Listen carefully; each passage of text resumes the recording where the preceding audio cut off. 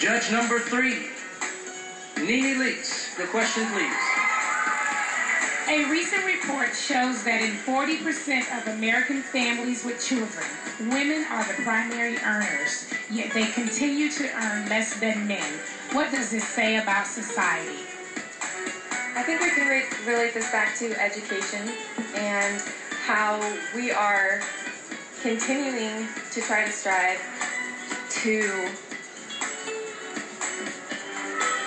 figure out how to create jobs right now. That is the biggest problem, and I think especially the men are um, seen as the leaders of this, and so we need to try to figure out how to create education better so that we can solve this problem. Thank you.